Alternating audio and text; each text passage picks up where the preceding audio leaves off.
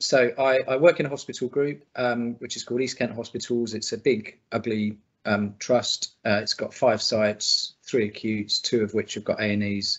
Uh, we turn over about um, three quarters of a billion pounds. We've got about 1,100 beds, um, and we employ about eight and a half thousand people. Unfortunately, during COVID, our turnover has gone up by 100 million, which we hope the Treasury wouldn't notice, but they've now noticed and asked us if we could have a little think about that.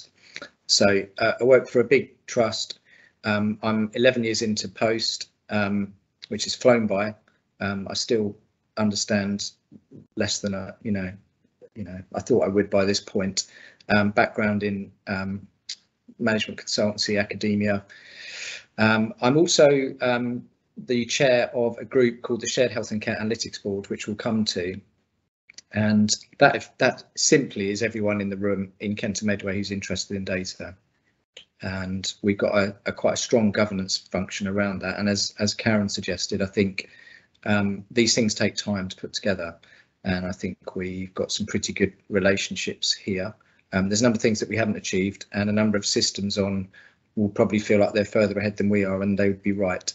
Um, but I'm just kind of giving you our experience kind of warts and all. So um, role in a hospital, a regional role chair in that group.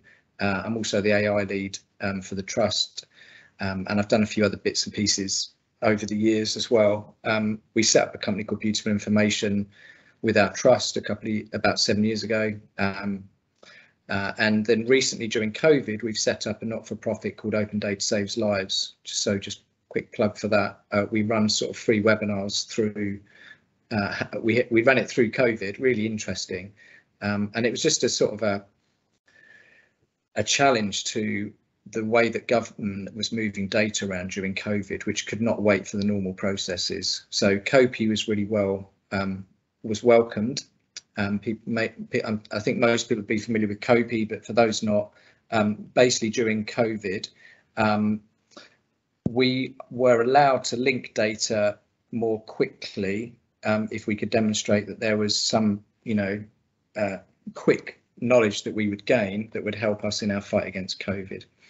And that gave people a lot of cover to get on with things which you might refer to as secondary uses of data. So one of the debates that we might have is what is secondary use of data and what is direct care. And the lexicon sort of changes around this stuff quite a bit and it's relatively fluid. And I think if if there's anything, if there's one, there's, if there's a few things you might take away from this, I would think that one of them is that discussion around what we're allowed to do with data and where we're allowed to do it, because that is changing all the time. And you'll have received all the gubbins about federated, um, you know, data platforms that's come out from Ming Tang. You'll have the strategy unit going on about how much they know about it all and so on. And there are some big um, decisions to make about where you store your data one of the wicked problems that I'll list later is about trusted research environments because that feels as though the Goldacre review has kind of is changing some of the advice around that. So there's some big decisions to think about and wrestle with regionally. Um, and on in the Open Data Saves Live stuff, we would we were just quite critical of how things were being done in the government. And I, and I give you an example of that. I'll, I'll try and put some examples in as we go because I think they're a bit more real. Um, when COVID was very, very difficult through March, April, May, June of 2020, um, we realised that if we could get the COVID test results from yesterday, if someone presented in ED, we would know immediately their COVID status and we would be able to stream them rather than at that moment in time waiting probably an app, probably a day um, to get a COVID result. We knew that that data existed because NHS Digital told everyone that they had it. So we asked for it and said, well, we're a trust, we'd really like to use it. And it was just, it was just all too difficult for them. Um, they said, oh, we don't know if we've got it or if we're allowed to give it to you. We think one of the CSUs might have it. Um, trying to contact them or NHS Digital was very difficult. Um, um, then getting told off for embarrassing them on Twitter um, by Director of Comms um, was interesting. Um, but then the next day, someone much more important than someone in comms at NHSIE sort of said, well, we can't really be seen to criticise NHS Digital, but we think what you're doing is a great idea. And, and in the end, a chap who works as a public health consultant said, well, I've got this data because I can download it. I'll just email it to you. And so we built an application and we demonstrated that statistically significantly we reduced mortality because we had that new piece of data. And I think one of the points I would make through all of this is that what we're trying to do with data, and I think probably this is a collection of the willing who think that data saves lives, and if you bring data together, that's a good thing. Um, it's quite sensitive, and you'll have quite a lot of battles with people, and you should not shy away from that. If you can sleep well at night and defend in court what you're doing, um, and you believe you're on the side of the angels, then you should just keep going because there will be plenty of people that say it's all a bit too difficult and I'm a bit nervous about doing this, so I don't think I want to do it. And, and that might be one of the messages that you take away from it. That might not sound very practical, but um, one of one one element of it is a sort of a call to arms amongst us as a community to you know share best practice, demonstrate really um, creative IG. Um, in the case of some work that we did at the beginning of COVID, when domestic abuse was flagged every Sunday on the newspapers as an issue during COVID, um, we made the ethical case that it would be okay to link data from the police to data from the NHS, a classic Venn diagram. So crudely, the police have got a file of men who hit women, and I've got a file of women who get hit by men. And surprise, surprise, if you put them together, you can find the wider parts of both of those circles. And again, we demonstrated that the model worked. Um, but you can imagine that that was a quite difficult conversation for people because you you you sort of wrestling with legal opinions, but you then when you get to the um, information commissioner, you're really talking about making a kind of moral, ethical argument around the use of data. So I'm being sort of slightly deliberately provocative, but just to just to emphasize that these are this is important work, but difficult work for you all. So don't be surprised if it feels like that when you get further into it or you know you've probably made more progress than we have.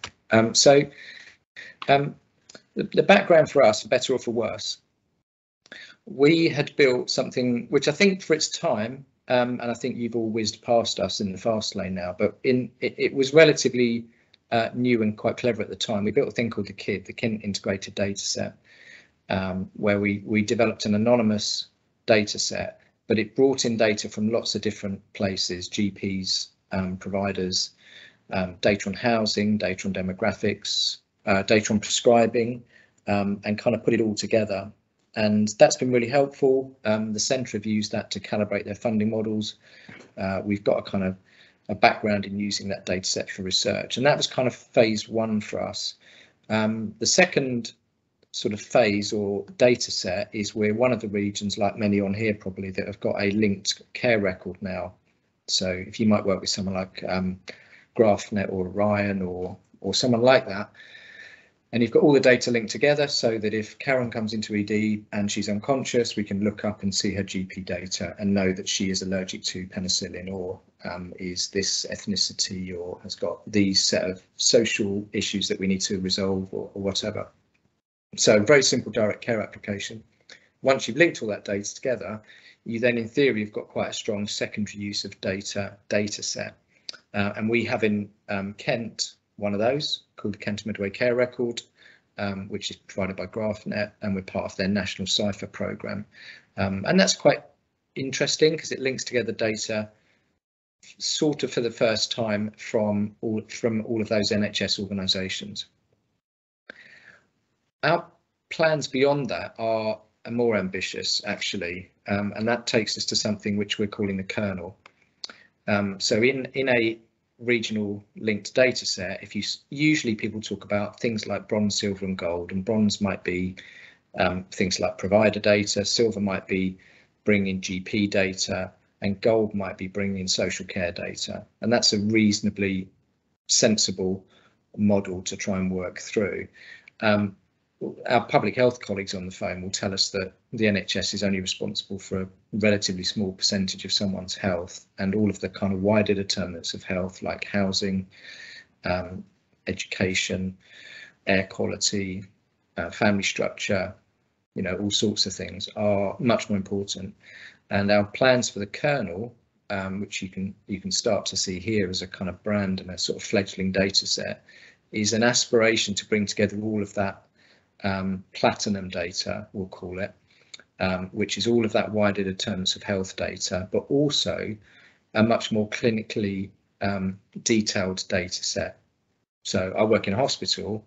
If Karen was a patient of mine and she was a renal patient, I would know her creatinine score. I'd know her oxygen saturation level, her blood pressure, her use and muse scores. Uh, I would know if she went into theatre, the cut to close rate on the surgery. I would, in theory, know how much blood we went to get out of the fridge, and so on and so on and so on. And the aspiration with the kernel is to bring all of that wider determinants of health data, but also to bring in a lot of clinical data as well. Um, I'll just jump to a slide that, just because I'm talking about it, makes that a bit clearer, and, that, and I'll go back if that's okay. Um, so yeah, I hope this is this is kind of self-explanatory and, and sort of describes some of our aims. So you've got different different sets of data across the top, and those sort of close to gathering data will know that some of those things are quite easy to get and some of them are quite hard. So on the far left, I work in an acute trust. It's really easy for me to get SUS data because I send it off every month to the centre and I send it to I'd send it to a CSU if they wanted it. I'd send it to a local data warehouse. That's pretty straightforward. Um, it's more difficult for me to get primary care data, but I can now start to get that through um, the Kent and Medway care record. But I might decide that I wanted more than what's available in the shared care record, and I might go and organise a flow of data through EMIS or Apollo or you know whoever it is that is uh, used in that region. And then across the top, you've got some that are relatively easy and some that are quite hard. Um, so community data, relatively straightforward. CCAM, not too bad. Mental health, not too bad. Social care, a bit harder. Um, at the council, they want a legal opinion on whether to go to the toilet or not, whether to have sugar in their tea.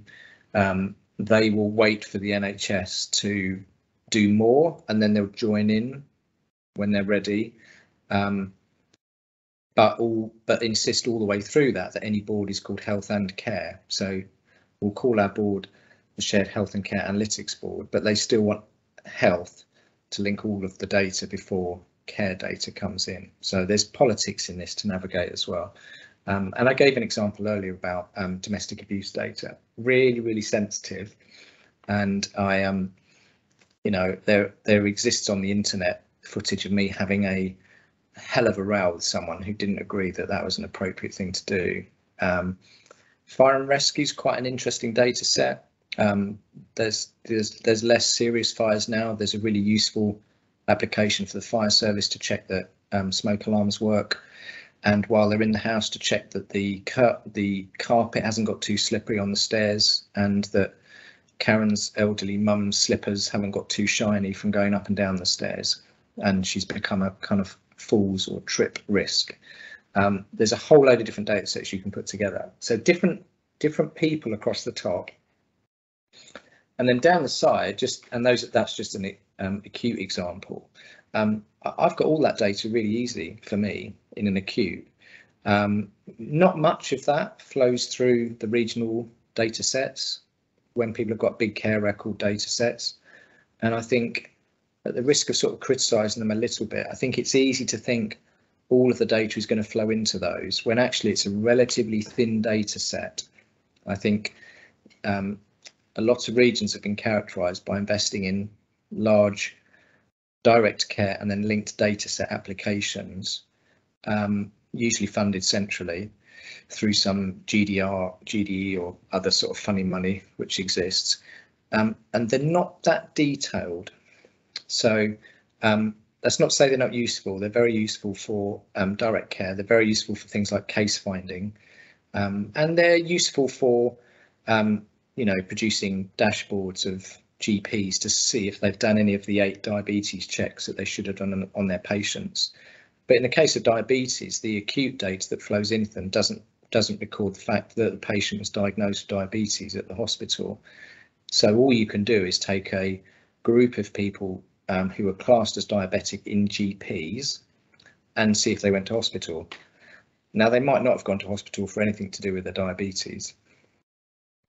Um, so these things aren't perfect yet, but I think the those types of issues are not well understood by people more senior than us on this call, but they're quite well understood by people like us.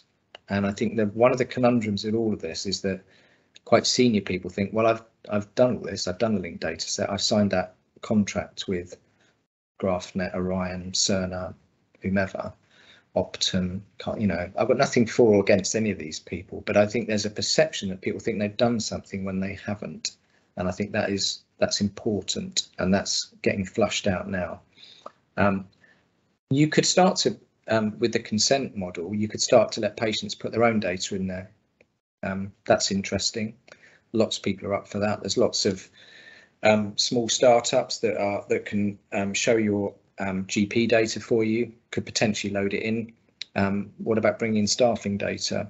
You know, we, we did a lot of work during COVID looking at people's ethnicity um, at a level of detail below, but beyond what is involved in the census. So taking Karen and Bradley and assigning an ethnicity, and it was far beyond, you know, white British, black African Caribbean, Indian, and so on. This was at the level of um, Sri Lankan, Tamil, Polish, Nepalese, uh, Welsh, uh, Romani traveller, um, and it it might not be perfect, but it looks pretty accurate. Um, and it allowed us under COPE to see if there were people working in our ITUs that we might have perceived it as being at higher risk of COVID than others, crudely black people compared to white people, but in from specific countries.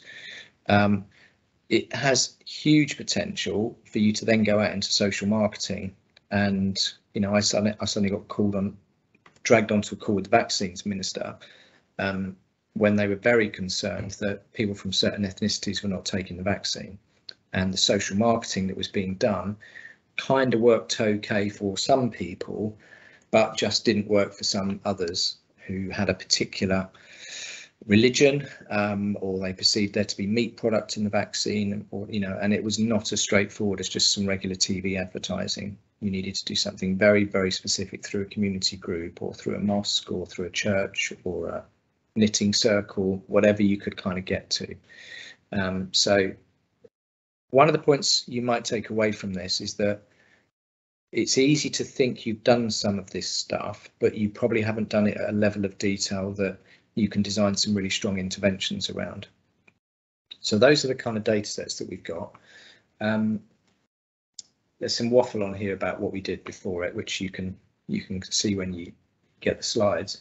Um, what I've then tried to do is to talk about, and this this sort of um, these rows here are quite interesting because they look a bit out of date now, um, because the the latest um, description is population health, planning, and research. Those are the three things that are kind of appearing everywhere on federated data platform guidance to the Goldacre review to lots of things. And and you you all know that you know, thing, things change and things become the buzzwords. Those three are the current buzzwords, so they should probably be the rows on here. This is slightly out of date, but it, we just came out of this because there wasn't any guidance. It, it, still looks right. It's all the same stuff. They're just different words. Um, and then across the top, what I've started to try and do is to talk about what different people might do. Um, and, you know, the, the people on this call I think probably all fall into one of those columns. We've got people from the private sector on, might have people from universities, we've got public health consultants, people from the commissioning support unit and so on. Um, and KMAP there is an idea, and I think this links to one of the wicked problems that people might kind of have a view on, is do you centralise some of your existing team and create a new team? Um, do you all field someone who's available a bit to work on some stuff? Uh, do you allocate people from the CCG down to PCNs? Um, do you invest in a new team or do you prioritise population health type work and do less counting widgets and beans in a hospital and more working collaboratively with GPs on a particular pathway? Um, and what we what we put an application in for, which we've got a business case coming together now on, is to start to put together a new team um, that sits at the centre, um, overseen by a chief analytical officer. Um, and um, there was a slide where Karen kept saying expected, as though these things would actually happen. Um, I hope they do. I'm I'm called chief analytical officer, and we've done I've done that deliberately to try and make the case nationally that that's what we need. There's only three people with that job title. Um, we need to get to a point where we've got 10, then 50, then 100. Um, so um, I hope you're right, um, but it's it's difficult. Um, the the CIO world have done quite well at creating a space for themselves and kind of hoovering up money and spending 10 years deciding between Cerner and Epic when that is not that's not an important decision for most people. As long as the data flows in and flows out and is right, um, I don't really care which American software giant you kind of get into bed with. Um, and I think there's a model for not having all of your eggs in one basket as well, because different data sets work better through, I tend to find through a kind of best of breed model. Um, but you know, people will have different opinions about some of this stuff. So I think that that, that kind of demonstrates some of the joint working that we kind of want to see happen. And I think we're at a point now where we're, we're really starting to challenge people's existing roles. So I'm paid four, four days a week by the hospital, I'm paid one day a week by the CCG as a as a let's try and do something a bit different and something a bit more interesting. And I think we need pressure to move to more of those kind of mixed blended roles. Um, and also where quite senior people in data have actually feel permission to publish data and not be told by a chief exec or a coup to um, keep it all secret because we don't know we don't want the other mob knowing what we're up to. We definitely don't want to declare we've got four empty beds because the next trust will send four ambulances down the road. We need to kind of get beyond that culture into a much more joined up one. Um, but this is what we've tr tried to do, and we've we've got we've got resources around all of this if if it's useful. So we've got strategies and terms of reference documents for boards. Uh, we've got IG documents under joint data control. Uh, we've got plan, we've got a work plan for how we're going to do population health management and so on. But this is what we're we're trying to enable. Um, but this this has been a coalition of the willing. It's been the, the you know the I say the Friday afternoon work. The you know the Tuesday evening, Saturday morning work is just um, no one pretty much has got a new job in this new world. Um, this is a group of people who think it's really important and are finding time to try and put it together. Um, so we've made quite a bit of progress. We, we certainly haven't finished. Um, that's the kernel. What I have included here, um, you'll get all these, but I've, I've given you, I thought these might be useful to show a couple of slides on some of the structure and the governance, because people might be interested in this, might have a question on this. Um, I quite like, a few years ago, NHSIE put out these three eyes of kind of I can't remember what they were, but kind of infrastructure intelligence intervention. So I can remember those three. Um, it, and then and then they talked about things like incentives and interventions and so on. Uh, in my head, we've got five. We've kind of got IG because it's such a big deal. Um, infrastructure, intelligence, interventions, and incentives. And each of those five things are huge pieces of work which have got um, governance requirements around them. So incentives is all the finance bods getting in a room and going, well, what, how, how are we going, how are we going to change this? If we, if we're going to do virtual outpatients instead of face-to-face -face ones, we know those don't cost as much, but we don't want to penalise you. Can we, can, can we create some shared incentive so that we do more of that virtually? Or let's take let's take the diabetes pathway specifically let's agree a series of proms and prems and um, best practice tariffs and and just see if we can price things slightly differently. Um, so with those five, I've I've kind of got my hands on three of them really. Um, I've had to put in place a lot of work around IG. So I've got a data ethics, data access and IG group. I've got an ethics board now, which sits above that. Um, I've got an infrastructure team, so they are um, they're going to pull together linked data set, they're going to set it all up in SQL, they're going to build a trusted research environment, they're going to put Power BI and R and Python and Hadoop and all these clever things above it. Um, and then we've got plans around intelligence, and that is things like skills mapping, um, working with people like the CSU, uh, working with people like AphA, working with local skills development agencies, um, potentially sharing people, creating new teams, training people, all of that. Um, so those are the three functions that kind of touch me the most. Um, and I've, I've just listed those here for you as well. I think those are the, if you're starting from scratch, those feel like the ingredients. That's the that's your that's your menu in your cookbook. I think you need one of each of those, and you can call them something different. But I think if you're not doing, if you're not spending time on each of those, there's pro it's probably a problem. Um, I just put a couple of slides together at the end, um, hence no fancy background, uh, but but probably the most important ones. Um, so in, in, no particular order, these these these just feel really important uh, for me. Um, the IT crowd, and you can kind of tell who they are because they're all 60 year old men in suits.